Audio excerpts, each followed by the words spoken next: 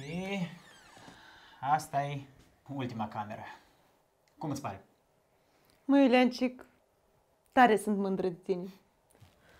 Așa mă bucur când o să mai treci cu noi. Ce?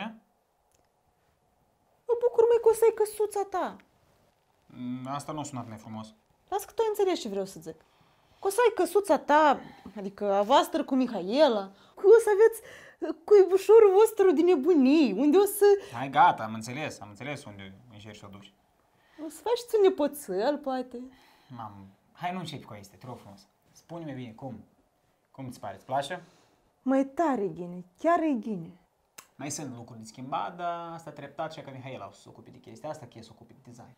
Da, da, înșetișoare, că în primul rând mă uit în colț și al o iconiță de pus. Mam, te rog frumos, nu ne începi cu iconiți, cu asta, lasă, iconiți nu trebuie în casă. Și crești mai cum adică fără iconiță? Tu ai văzut câte iconițe sunt la noi în casă? Apoi asta e că sunt așa de multe iconiți la noi acasă, că atunci când ați chemat preotul să sfințați casa, au crezut că e la dânsul un altar. Au început să discalți, că la dânsul acasă să zăi acolo. Au început să pupi toate icoanele, să împărtă și cu dascăle între dânsi. Las, las asta, las. Mai, dar ai văzut cât o stat? Că nu voia să ducă. Așa energie bună la noi de la icoanele și ele.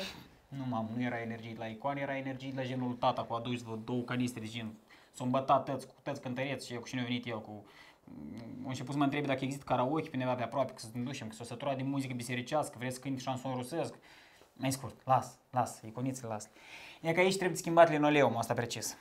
Da, asta trebuie de schimbat, într-adevăr. E ca și eu am acasă două covoare bunișoare, le punem aici, am și o bucată de covrolină, jumătate e mâncată de moli, dar mai este ca și o jumătate și mă uit că în colțul și ăla fix s-ar potrivi. Asta, mamă, nu-ți fă griji, las ca să cumpărăm noi asta. Și ce cumpărați voi? Și voi faceți banii cu șocanul, măi. Dar cu zis mama cât-ți dă? Nu întreb, mam, nu, nu, nu vreau eu covoarcele. mă. Dar de ce mai câți buni?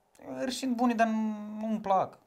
Dar și ești de plăcute că le pui pe jos și gata, nu te mai uiți la dânsele. Și ca mai am o idee. Ia uite, niște perdele roșii.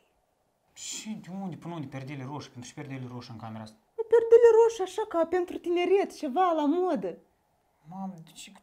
De unde ai luat în general perdele roșii pentru tineret? Și, cu- las, uite, te rog, hai că de partea asta cu designul o să se ocupe Mihaela, ies pe shape la asta. Îți pricep mai gândi decât mine, da? E clar că se pricepe mai gândit, că tine că a făcut o școală de design, o absolvită. Dar de când Asaki e școală de design? Că ai spus că o absolvit Asaki. Nu, eu absolvit Asake, dar după asta au făcut o școală privată de, de design, DCC School. Eu luat de acum diploma și de acum poate să profeseze ca design, așa ca să se ocupe el. Mhm. Și înțeleg eu în prostioarele voastre. Mai las că eu tot la viața mea am făcut design și îți spun că niște perdele roșii aici și tare, tare ghine, parcă văd. Stai, dar de unde ai făcut tu design? Dar de la bunic, măi, că îi place desenul și m-a învățat și pe mine.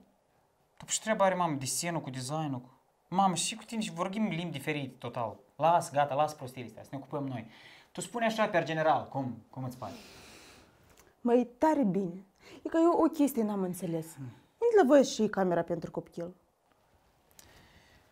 Mamă, m, noi cu Mihaela m, nu vrem să avem copii. Cum adică?